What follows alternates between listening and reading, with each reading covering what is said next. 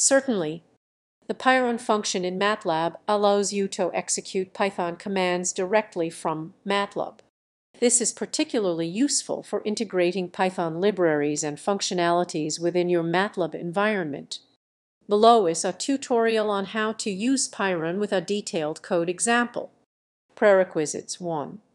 MATLAB ensure you have MATLAB installed or 2019 or later. Python you should have Python installed, preferably Python 3x. You can use Anaconda or any other distribution. Python configuration make sure MATLAB is configured to use the installed Python version. You can check this using the command matlab version if it doesn't point to the correct Python installation.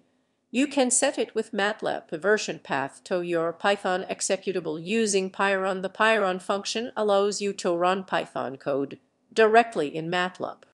You can execute Python scripts, call Python functions, and work with Python objects.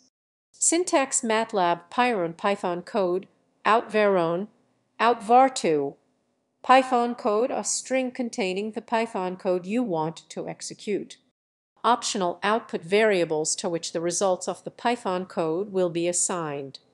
Example using pyrun Let's say we want to use Python's NumPy library to create an array and compute its mean. Creating a Python code block, we will use Python code to create a NumPy array and calculate its mean. Import NumPy the first pyrun command imports the NumPy library, which provides support for large multidimensional arrays and matrices. Create an array the second command creates a NumPy array with integers from 1 to 5. Calculate mean the third command calculates the mean of that array. Retrieve value the final command retrieves the computed mean value from the Python environment back to MATLAB.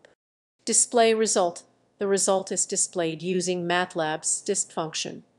Additional tips debugging if you encounter errors while running Python code. Check the MATLAB command window for error messages which can provide insights into what went wrong. Complex data types You can pass complex data types between MATLAB and Python. MATLAB structures can be converted to Python dictionaries, and MATLAB arrays can be converted to NumPy arrays. Performance keep in mind that calling Python from MATLAB can have some performance overhead. If you need to call a Python function repeatedly, consider wrapping it in a Python module. Conclusion using the pyrun function in MATLAB is a powerful way to leverage Python's extensive libraries and capabilities.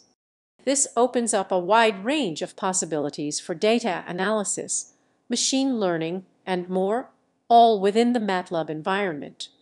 Experiment with your Python code and explore different libraries to enhance your MATLAB applications.